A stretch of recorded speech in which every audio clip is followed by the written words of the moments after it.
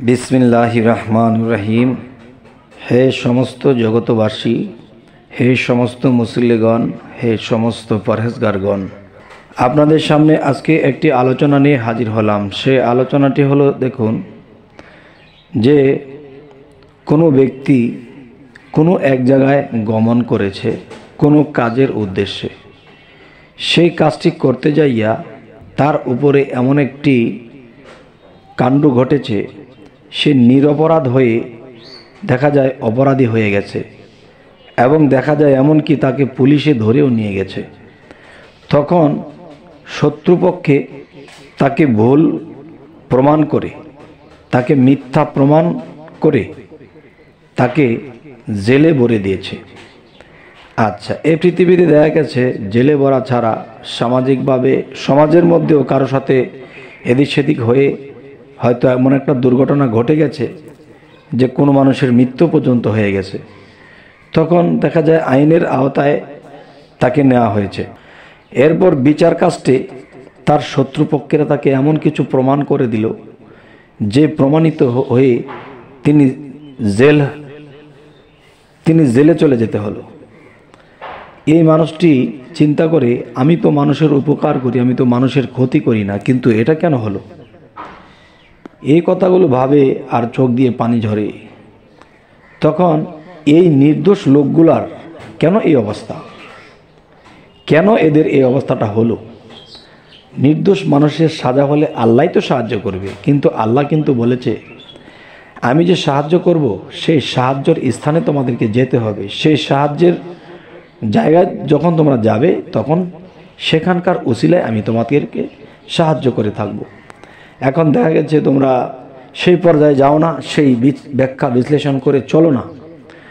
তবে হে সমস্ত জগতবাসী যে যদি একশো ফ্যামিলির কাছে যাই, এর মধ্যে পঁচাশিটা ফ্যামিলির মধ্যেই দুঃখ, দুর্দশা, নির্দোষ হয়ে হাজত খারছে নির্দোষ হয়ে অপরাধী হয়ে গেছে।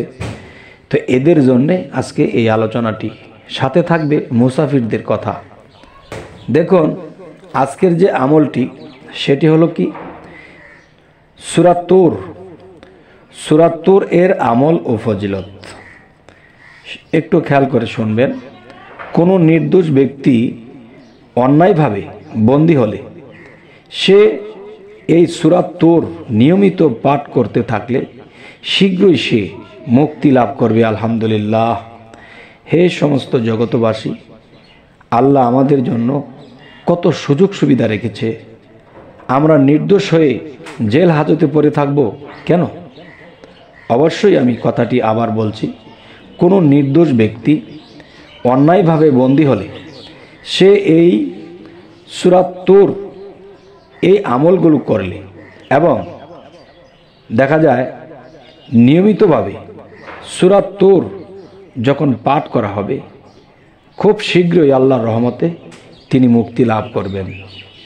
এবার আসি মুসাফির ব্যক্তির পাঠ করলে কি হবে?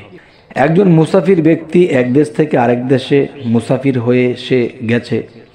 যাওয়ার পরে দেখা যায় কিছু সমস্যা এসে দাঁড়ায় বা কোনো বিপদ আপদ হয় বা নৌকায় চড়ে গেলে নৌকা ডুবে যাওয়ার ভয় থাকে বা তিনি স্টিমারে গেলে ঝড় তুফান এসে সেই স্টিমার ডুবে যেতে পারে বা এরকম কোনো পরিস্থিতি। যদি গাড়িতে যায়, গাড়ি থেকে পরে বা গাড়ির দুর্ঘটনা ঘটেও সে তার ক্ষয়ক্ষতি হতে পারে। তাহলে সুরাত তুরের কথা কি বলা হয়েছে? মুসাফির ব্যক্তি পাঠ করলে সুরাত তোর মুসাফির ব্যক্তি পাঠ করলে সফরকালীন সময়ে সে নিরাপদে থাকবে ইনশাআল্লাহ।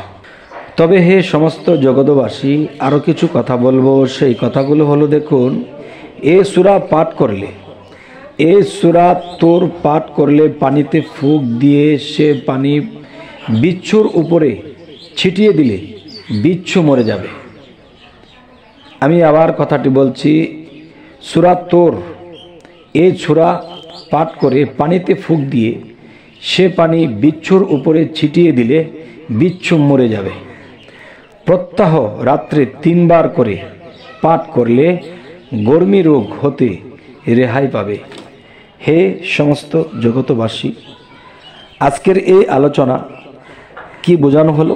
কোরআন থেকে সুরা তোর হতে যে এই সুরাটি যদি আমরা নিয়মিত পাঠ করি, তাহলে দেখা যায় কোনো জেলে বন্দি লোক, সে যদি নির্দোষ হয়ে যদি সে জেল হাজতে থেকে থাকে, আর এটি যদি নিয়মিত পাঠ করে, ইনশাআল্লাহ আল্লাহর কোরআনের এই সুরার বরকতে, সুরার শক্তিতে, সুরার উসিলা করে আল্লাহ সেই ব্যক্তিকে জেল থেকে মুক্তি করে দেবেন।